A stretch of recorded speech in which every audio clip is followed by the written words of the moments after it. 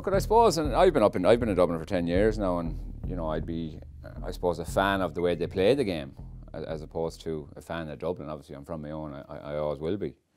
I think, um, you know, I think you have to appreciate, you know, what they're doing and what they do.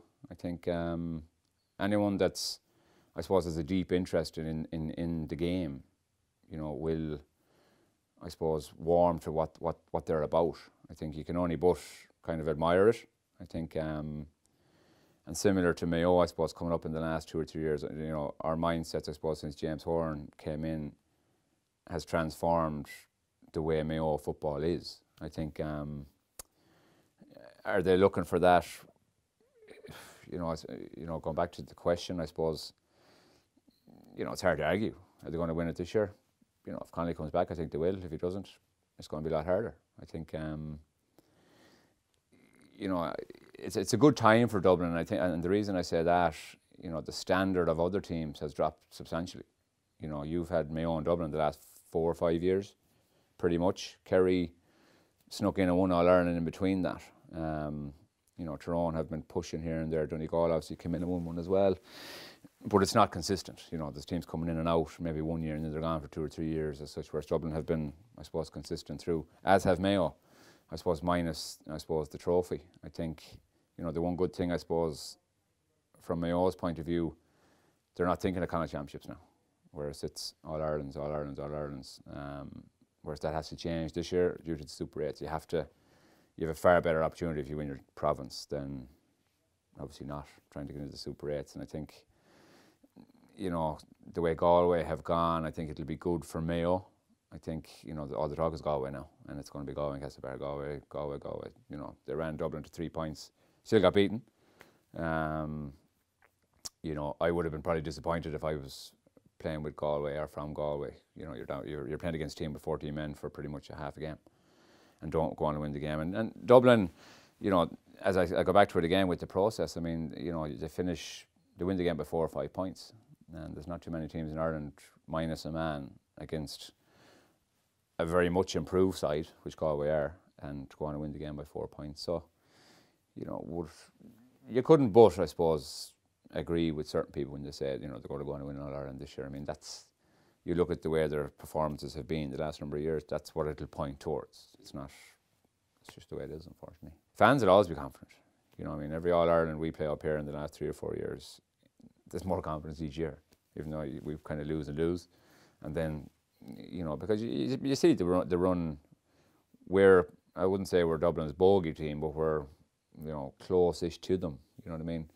It's not, it's not, what's the word? It's not, it's not a surprise Dublin don't play well against Mayo due to the way Mayo play and they're physical, they get in their faces and maybe just don't have that quality to get enough scores on the board. You know, that's that's been the case so far. You know, obviously we'll be hoping that changes, but you know, I think the, the one thing I'll say, and I, I, I tend to bring all the Dublin games in, as in the three All Irelands, that the one disappointing thing for me has been Dublin. Dublin haven't performed to the maximum in the finals, and you know you go back to the belief thing as well. We're there with a point to go. Like, I suppose the of the of all of the three finals, the Donal Vaughan and John Small thing is it was the one incident that should have propelled us to an All Ireland. You know, obviously against Dublin, you're more on edge because you know if you make a mistake, counter attack, bang, they're gone. That's and I go back to it again. The quality player, they have that. You know, you have Jack McCaffrey, Cian O'Sullivan, half back line, James McCarthy with pace. You know, Gavin has his, I suppose, particular players in very particular positions. You know, as in fitness wise, like James McCarthy be one of the fittest players to have and I suppose you've seen Jim Gavin last week with the young guy from Rafina that came on against Galway at half time. No one's ever heard of him.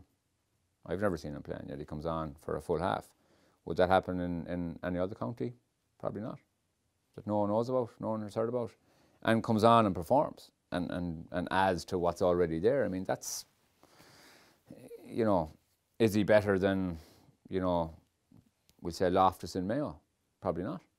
They're probably on, on a similar par.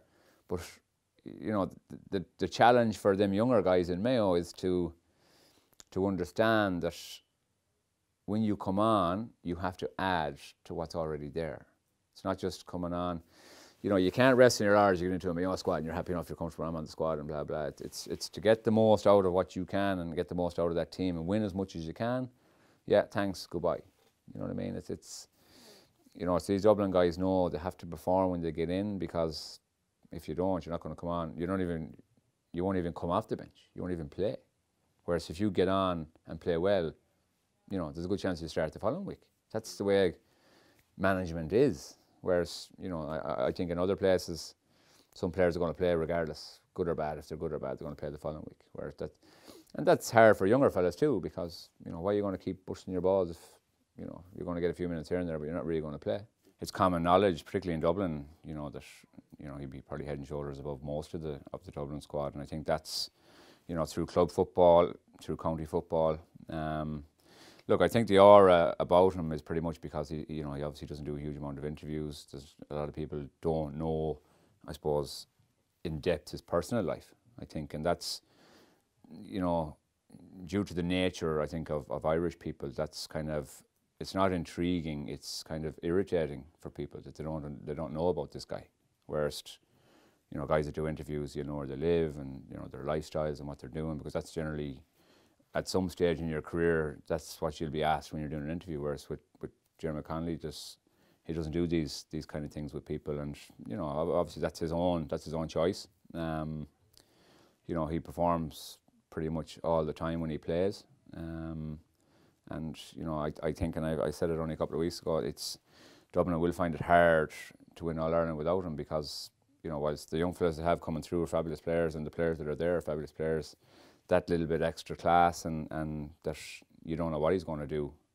Um, whereas we say what what he will do will benefit the team. It's not you know what's he going to do. Is he going to throw a box or it's it's a it's a sporting, you know, is he going to score a magical point or as as you seen the free he won against Mayo last year when he came in. It's it's those little things. You know, you never you, you'll never say about a player that's going to win an All Ireland for you by winning a free, which in effect, that, that's exactly what happened last year with Mayo.